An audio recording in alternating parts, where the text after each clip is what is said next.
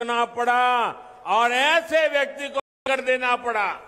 भरतपुर से चुनावी सभा की सीधी तस्वीर। दिल्ली में बैठे कांग्रेस के हर नेता को इस मंत्री की सच्चाई का पता है। लेकिन फिर भी इस मंत्री के पास कोई ऐसी जानकारी है? दिल्ली में बैठे हुए लोगों की भी कोई जानकारी है? सब उससे कांपते हैं, टिकट दे दिया है। मैं आपको वादा करता हूँ, यहाँ भाजपा की सरकार बनने के बाद उस राज को भी खोलने की कोशिश की जाएगी।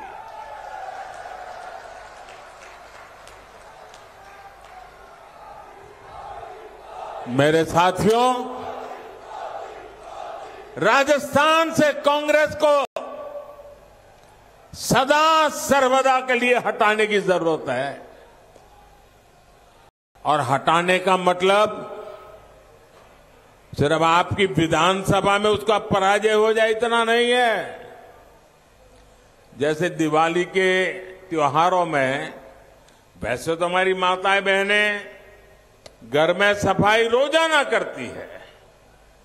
लेकिन दिवाली के समय कोने कोने से छोटी छोटी जगह से भी इतनी सफ़ाई करती, इतनी सफ़ाई करती है, घर को चमका देती है। जैसे दिवाली के त्योहार में माताएँ, बहनें हर कोने की सफ़ाई करती है ना? ये चुनाव भी वो दिवाली है। हमने ऐसी सफ़ाई करनी है, ऐसी सफ़ाई करनी है। किसी कोने में भी कांग्रेस बचनी नहीं चाहिए। करोगे? पक्का करोगे? तब तो देव दिवाली ऐसी मनेगी ऐसी मनेगी।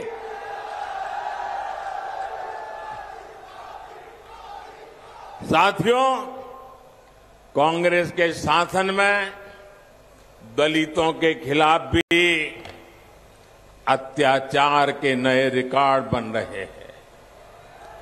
कांग्रेस स्वभाव से ही दलित विरोधी है।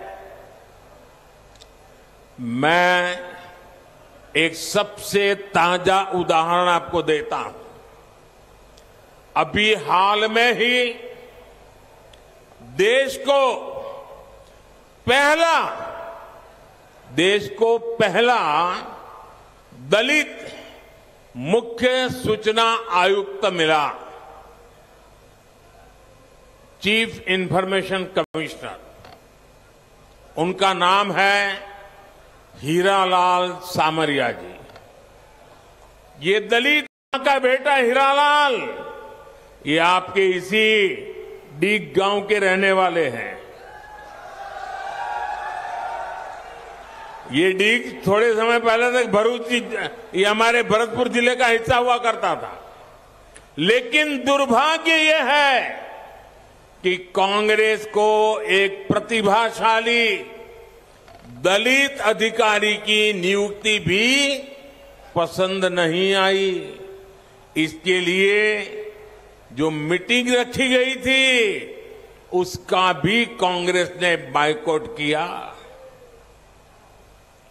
कांग्रेस एक दलित अफसर को ऊँचे पद पर पहुँचते हुए देख ही नहीं सकती।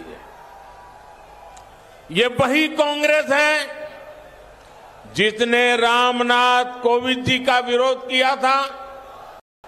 ये वही कांग्रेस है जिसने बाबा साहब आम्बेडकर को हमेशा अपमानित किया। कांग्रेस ने दो दो बार बाबा साहब को चुनाव में हराया। उन्हें राजनीति से दूर करने की कोशिश की, जबकि ये भाजपा है जो बाबा साहब से जुड़े पुण्य स्थलों को पंच तीर्थ के तौर पर विकसित कर रही है। बाबा साहब के बाद दशकों दूसरा दलित कानून मंत्री भी भाजपा ने ही बनाया है। हमारे राजस्थान के ही अर्जुन राम मेघवाल जी आज देश के बड़े बड़े कानूनों को बनाने में बड़ी भूमिका निभा रहे हैं। मेरे परिवारजनों, आपका सपना आपका सपना आपका सपना ही मोदी का संकल्प है।